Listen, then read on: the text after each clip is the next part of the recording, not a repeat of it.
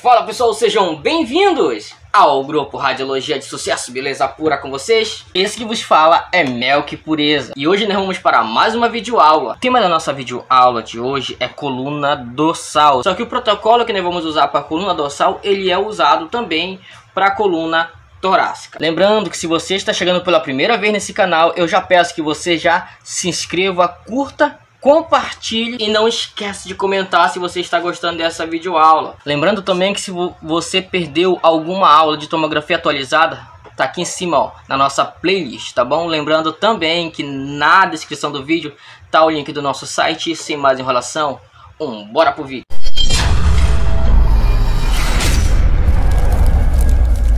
Antes de você entrar na sua sala de comando, você precisará ter vindo aqui na sua sala, onde você vai ter a execução do paciente, onde está o seu equipamento, arrumar a sala, tá bom? E você vai chamar o seu paciente. O posicionamento de coluna torácica vai funcionar de duas formas. E tem alguns macetes que eu vou te ensinar que provavelmente você vai ver no seu estágio, se você já viu ou se você ainda não viu, tá bom? Eu vou te mostrar agora, tá bom? Vamos lá. O posicionamento de coluna dorsal pode ser desta forma, pode ser desta forma e também pode ser com os pés em direção ao Gendry. No caso aqui ele está com a cabeça em direção ao Gendry, né? Mas ele pode entrar com os pés também em direção ao Gendry. Nesse caso você só vai precisar mudar a orientação. Que orientação? Essa orientação aqui. Por que eu tenho que mudar essa orientação? Eu já expliquei na outra aula e vou falar novamente. Se você não muda a orientação que o seu paciente está sendo introduzido no Gendry, o que pode acontecer? O seu exame pode vir estar de cabeça para baixo. O seu paciente pode estar desta forma? Pode. Essa forma é universal? Não é universal. A forma universal é esta, em que você coloca o suporte embaixo da perna do paciente e o paciente fica com os braços para cima e a marcação vai ser aqui no mento aqui no mento do paciente. Por que tem que ser aqui no mento? Para não correr o risco de você cortar a T1. Então, como você está começando agora, ah, você saiu do estágio que você não teve muita experiência com equipamento, e você chegou agora para trabalhar, então eu vou te aconselhar você colocar no mento do paciente, porque aí você não vai correr o risco de cortar a coluna dorsal do paciente. Entendido aí? Beleza, vamos lá. Esse aqui vai ser o posicionamento universal. Você vai usar para quase todos. Por que quase todos? Porque você não vai trabalhar só com jovens. Você vai trabalhar também com idosos. Você vai trabalhar com pessoas que têm limitação de movimento. Pessoas que não irão conseguir levantar o braço. Você vai fazer desta forma aqui. Esta forma aqui é mais complicada um pouquinho, Mel. É mais complicado um pouco sim. Por quê? Porque o braço ele vai estar na frente da coluna, diferentemente desse daqui, né? Por quê? Aqui o braço está para cima, então a coluna ela vai estar livre, ó. A coluna vai estar livre.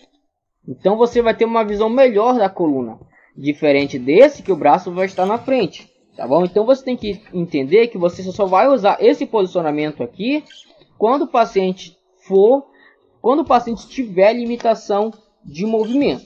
Entendido aí? Beleza. E a marcação? A marcação vai ser no mento, tá bom? Mento e látero lateral. E informar para o paciente manter uma respiração bem tranquila. Coluna torácica, coluna dorsal não é feito em apneia. Por que não é feito em apneia? Calma que eu vou já te mostrar. Vamos lá.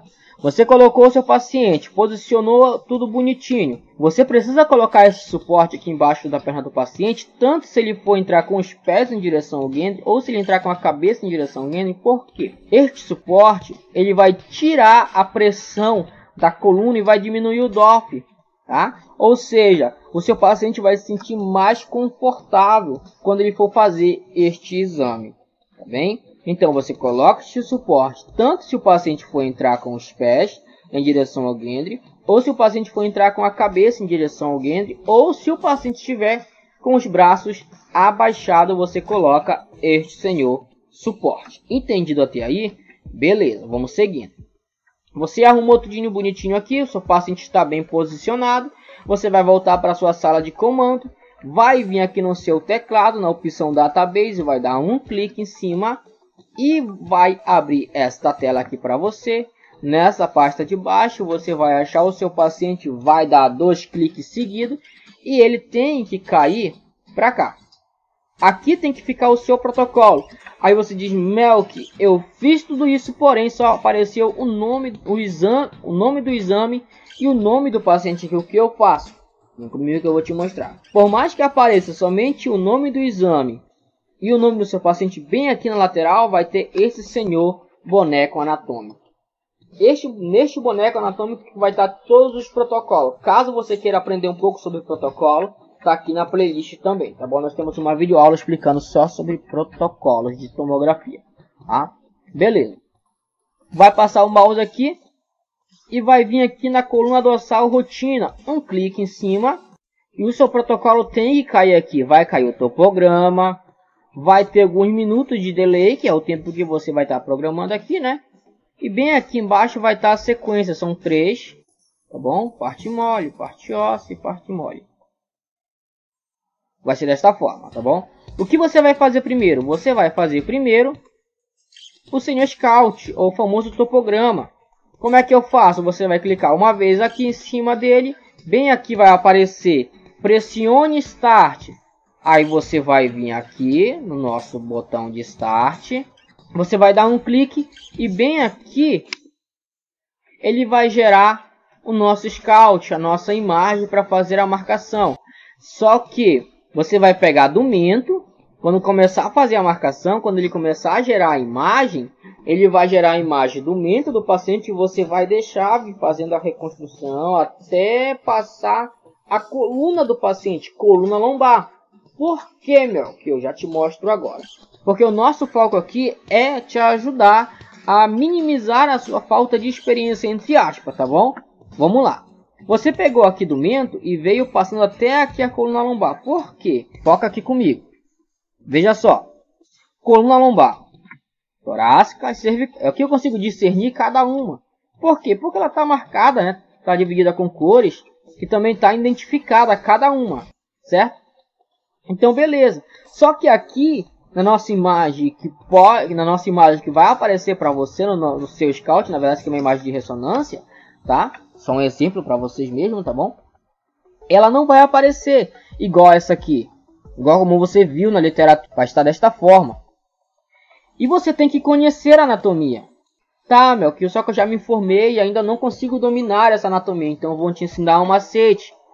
Você vai fazer o scout, pegando coluna dorsal, coluna lombar e passando o saco. Fez isso aqui, você vai fazer o que agora? Você vai contar. 5, 4, 3, 2, 1. Daqui para cima começa a coluna torácica, certo?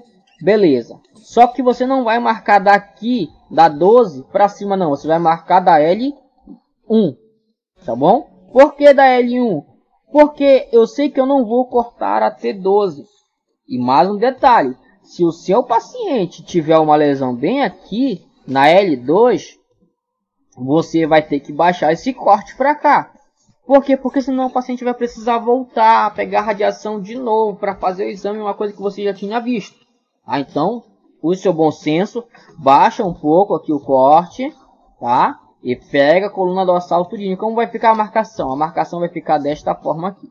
Essa vai ser a marcação. Vai ter aqueles pontinhos que você sabe que tem, que você consegue aumentar ou diminuir o tamanho do FOV você vai puxar um pouco esse FOV para dentro, para ele ficar nessa direção aqui, ó. Ele tem que não precisa ficar muito fora, também não precisa ficar muito junto. Ele vai ficar aqui. E essa outra parte aqui da região posterior, ele tem que passar a mesa. Tá? Então você vai pegar toda a coluna dorsal do seu paciente e não vai cortar.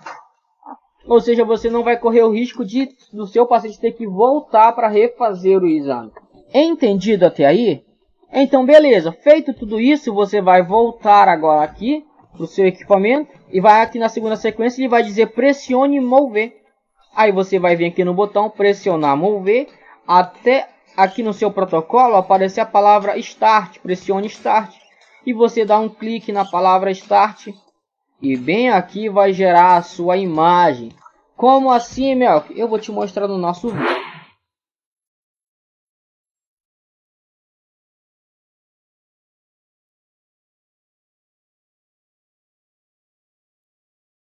Você está fazendo o scout do seu paciente, vai passar a coluna lombar, Passou a coluna lombar, agora você faz a marcação, já conferiu.